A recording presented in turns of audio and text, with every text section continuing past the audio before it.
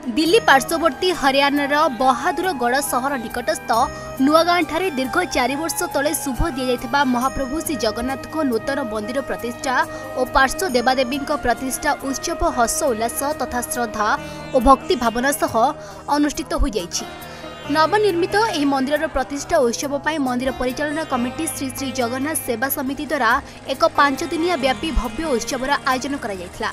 ଚଳିତ ମାସ ପନ୍ଦର ତାରିଖଠାରୁ ମନ୍ଦିର ପ୍ରତିଷ୍ଠା ଉତ୍ସବର ଶୁଭାରମ୍ଭ କରାଯାଇ ଅଙ୍କୁରୋପଣ ନୂଆଗାଁ ପୋଖରୀରୁ କଳସ ଶୋଭାଯାତ୍ରା ବାହାରି ଯଜ୍ଞ ମଣ୍ଡପଠାରେ ସ୍ଥାପନ ଯଜ୍ଞକୁଣ୍ଡରେ ଅଗ୍ନି ସ୍ଥାପନ ଏଥିସହ ସୂର୍ଯ୍ୟ ପୂଜା ଗୋ ପୂଜା ଦେବାଦେବୀଙ୍କ ମହାସ୍ନାନ ଷୋଡ଼ଶ ଉପଚାର ପୂଜା ଚତୁର୍ଥ ମୂର୍ତ୍ତିଙ୍କର ରତ୍ନ ସିଂହାସନ ପ୍ରତିଷ୍ଠା ପାର୍ଶ୍ୱ ଦେବାଦେବୀଙ୍କ ପ୍ରାଣ ପ୍ରତିଷ୍ଠା ସହ ଚତୁର୍ଥ ମୂର୍ତ୍ତିଙ୍କ ନବନିର୍ମିତ ରତ୍ନ ସିଂହାସନକୁ ବିଜେ ଓ ଅନ୍ୟାନ୍ୟ ନୀତିକାନ୍ତି ହୋଇ ପଞ୍ଚୁକଠାରୁ ଆରମ୍ଭ ହୋଇଛି। ପବିତ୍ର ହୋମଯଜ୍ଞ ପବିତ୍ର କାର୍ତ୍ତିକ ପୂର୍ଣ୍ଣିମା ଦିନ ସନ୍ଧ୍ୟାରେ ପୂର୍ଣ୍ଣାହୁତି ସହ ସମ୍ପନ୍ନ ହୋଇଥିଲା। ମନ୍ଦିର ସମ୍ମୁଖରେ ଆୟୋଜିତ ହୋଇଥିବା ଏହି ପାଞ୍ଚଦିନିଆ ହୋମଯଜ୍ଞରେ ପୁରୀ ଶ୍ରୀକ୍ଷେତ୍ର ଓ ରାଜ୍ୟର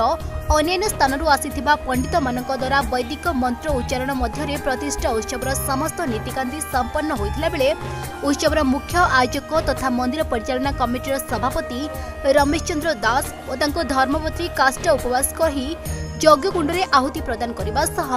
ଅନ୍ତିମ ଦିନ ପୂର୍ଣ୍ଣାହୁତି ପ୍ରଦାନ କରିଥିଲେ।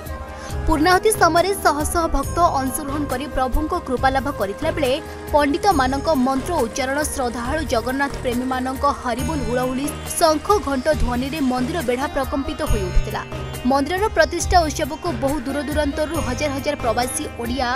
ଓ ସ୍ଥାନୀୟ ବାସିନ୍ଦା କୋଭିଡ୍ କଟକଣାକୁ ମାନି ପର୍ଯ୍ୟାୟକ୍ରମେ ଏହି ଆଧ୍ୟାତ୍ମିକ ଉତ୍ସବରେ ଯୋଗଦେଇ ଶ୍ରୀଜୀଉମାନଙ୍କ ଆଶୀର୍ବାଦ ଭିକ୍ଷା କରିବା ସହ ପ୍ରସାଦ ସେବନ କରିଥିଲେ